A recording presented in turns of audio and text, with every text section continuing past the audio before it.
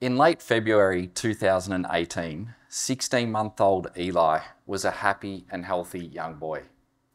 However, on a seemingly normal Monday, he began to experience some discomfort that was initially thought to be a probable urinary tract infection. As the week progressed, he grew sicker. And on the Thursday, while changing Eli's nappy, his mother discovered a lump the size of her fist in his abdomen and immediately rushed him to the emergency department. After a series of examinations that included two ultrasounds, it became clear that a tumour was affecting Eli's bladder. And by 7 pm that night, he'd been transferred to a local children's hospital. The following day, Eli underwent a biopsy of his tumour. And on the Sunday, his mother was given the news of a malignant cancer diagnosis. Commencing 501 days of chemotherapy treatment the very next morning, Eli and his loved ones were thrust into a challenging and an unimaginable reality. In this harrowing circumstance, the entire world changes, not just for Eli, but for all of those around him. Childhood cancer is a devastating diagnosis, affecting 1 in 6,000 children under the age of 15. While it's considered to be relatively rare, accounting for 1% of all cancer diagnoses, it's the second leading cause of death in children only behind accidents and is the leading cause of death from disease.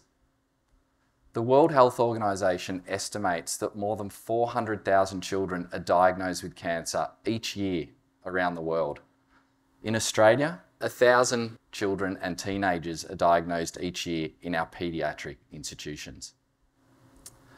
Over the last 60 years, survival rates for childhood cancer have improved from less than 20% to greater than 80%. This is really due to the introduction of chemotherapy and radiotherapy treatments. This glasses half full perspective on improvements in childhood cancer is often emphasised, particularly for acute lymphoblastic leukemia, which is the most common childhood cancer, in which survival rates have risen from less than 10% in the 1960s to now about 95%. However, there are still unbalanced outcomes in survival, and we are far from reaching 100%, which is what we must aim for. Every week in Australia, three children die from cancer. And for many cancer types, the treatments have remained unchanged for decades, and so survival rates have stagnated. In addition to these statistics, there is an alarming rate of late effects for childhood cancer survivors. 70% of children who survive their cancer suffer long-term effects of their treatment. This can include developmental delay, kidney and heart damage, hearing loss, infertility, psychosocial problems, and a higher incidence of de developing a second cancer in later life. This really highlights the urgent need for new and improved therapies that are, that are not only more effective but also less toxic, thereby improving patient survival as well as survivor quality of life. We are learning more and more about childhood cancer. We now know that childhood cancers, even of the same diagnoses, can be separated into different groups based on very distinct genetic and molecular information, each with different underlying causes, different responses to therapy, and different prognoses.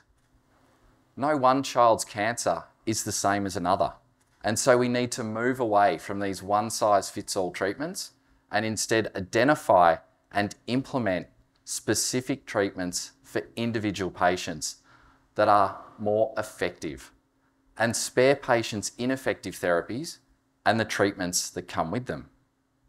But how do we determine the right treatment for the right patient?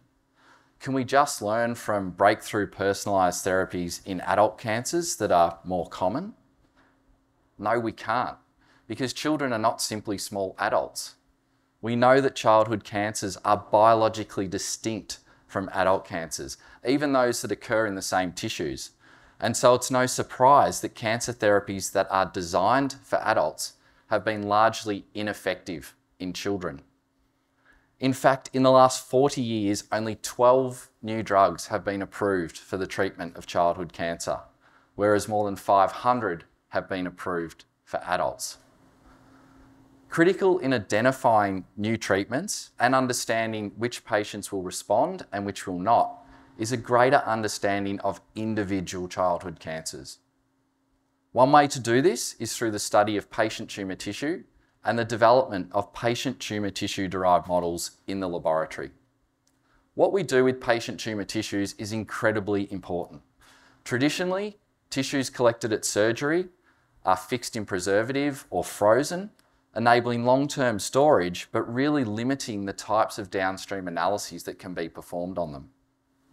As these tissues are utilised for further testing or research, they become smaller and smaller and are eventually completely exhausted, gone for all future studies.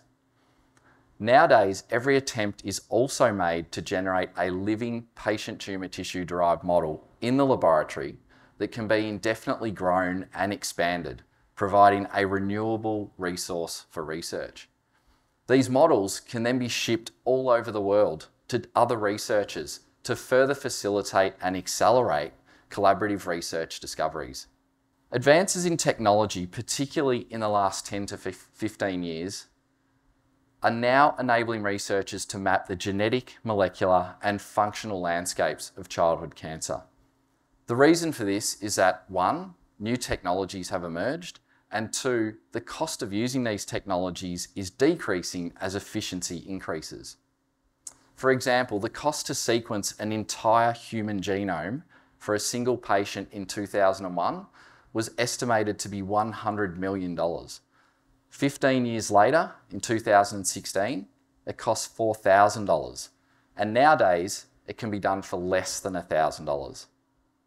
This is now enabling researchers to map all of the genetic mutations in an individual patient tumour to identify those mutations that drive the disease and can potentially be treated with existing drugs. So in theory, if a patient has a mutation in gene A, they could be treated with drug A because that drug is known to counteract the effects of that mutation. However, in reality, it's not that simple. Only about 40% of patients have mutations that we can currently treat with a known drug. And of those, only about 10% will actually go on to receive that treatment.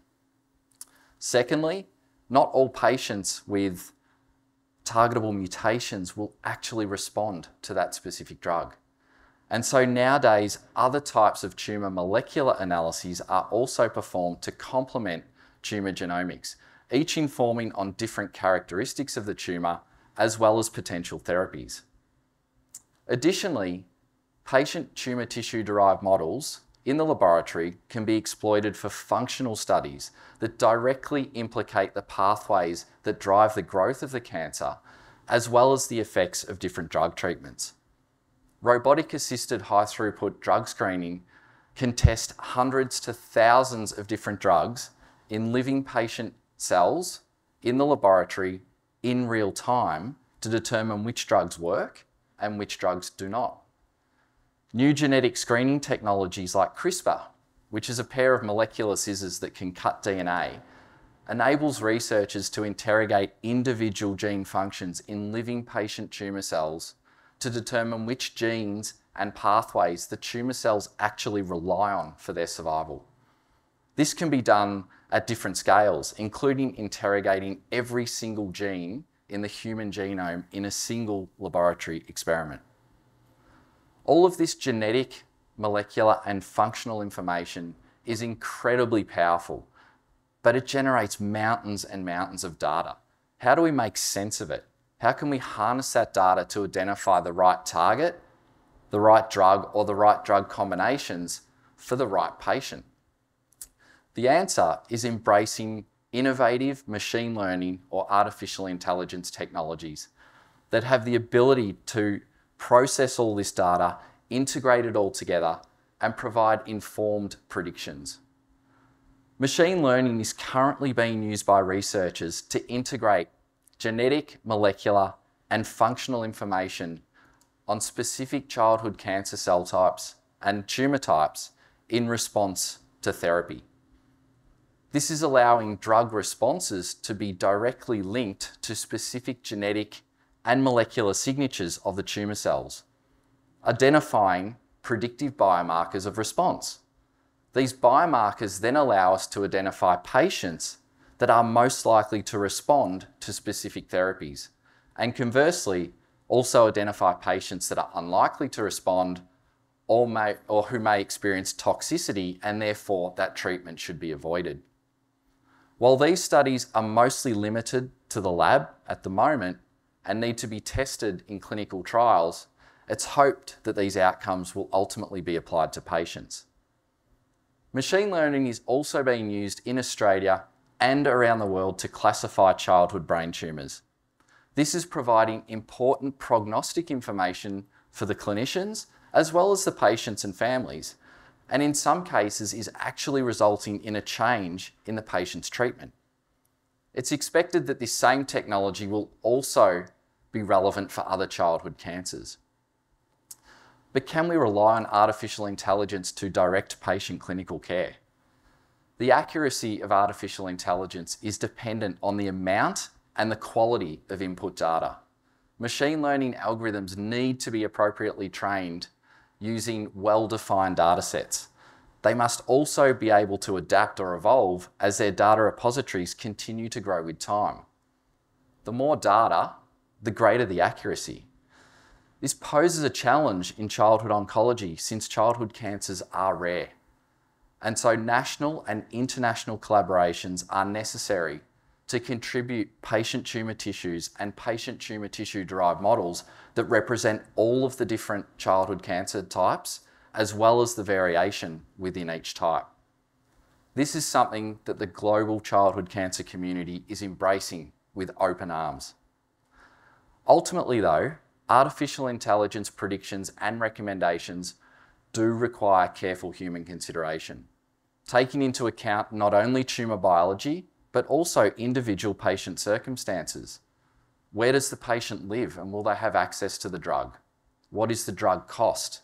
Will the drug interact with the patient's existing medications? What is the health of the patient and their comorbidities and will they tolerate the drug? Growing numbers of patient tumour tissues and models derived from them will undoubtedly help strengthen and refine artificial intelligence predictions and recommendations leading to more effective therapies with fewer side effects for individual patients.